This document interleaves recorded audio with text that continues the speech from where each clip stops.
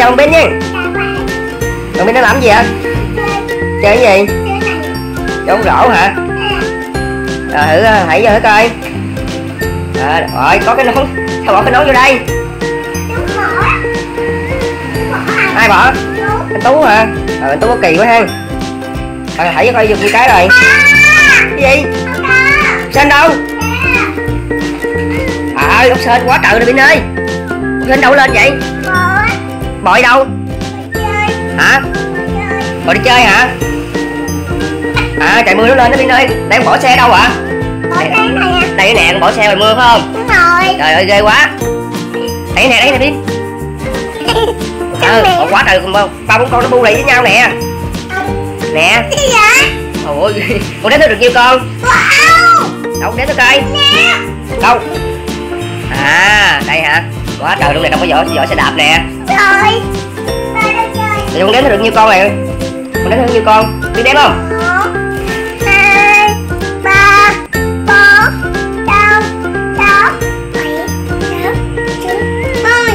À mười con luôn hả? À, mười hai con chứ. Đây ốc xem bé nè. Đâu xin ốc xin mẹ đâu. Ờ xin con ốc xin mẹ đâu. Còn ốc xin mẹ hả? Ui được không? Đây ốc xin ba đâu xin ba chỉ con đi Thằng chơi nào? À giờ vô thầy tiếp đi ha.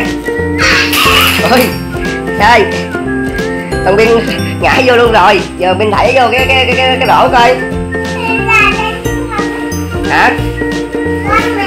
Ôi con mèo đi đâu hả? Ôi con mèo đâu hả? Ôi ôi con mèo nè. Ôi Bin con mèo đi vô nhà Bin ơi.